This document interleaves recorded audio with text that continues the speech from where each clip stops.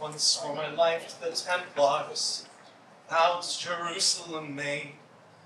Promised to wield my faith and my shield as quickly as I'd wield a blade.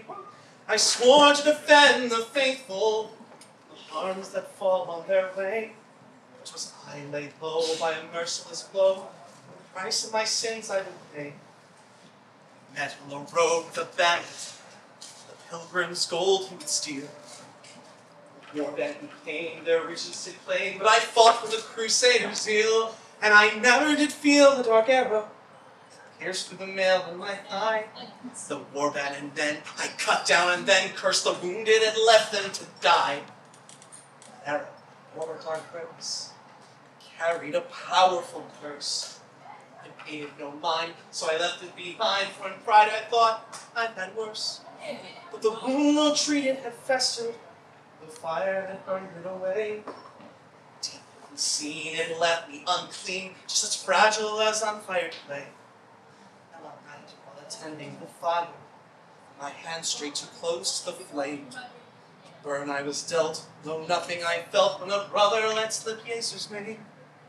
He called on Master Chirurgeon, and sorrow told me I was lost. For, for my merciless glee, a leper I'd be, from the order and faith I was tossed. The last rites then I was taken, my crimson red cross stripped away. They tended my burn, it was there that I learned redemption was not far away. For though I was dead to the living, in death I could still serve my Lord. I swore then and then that I would fight again, my faith that was shattered restored. So they laid me in state, still breathing. They gave me my funeral rites. They cried and they prayed, my sins be waylaid. From darkness they brought me to light. For though I was lost to the living, no longer my soul was unclean. I was freed from my past till death came at last by my brothers in crosses of green. Here the crusades come to Aachen. They fear we will fall in this siege. But undying are we, my brothers and me. Saint Lazarus serves as our liege. Ferocious, for we are forgiven. What's dead can sin no more.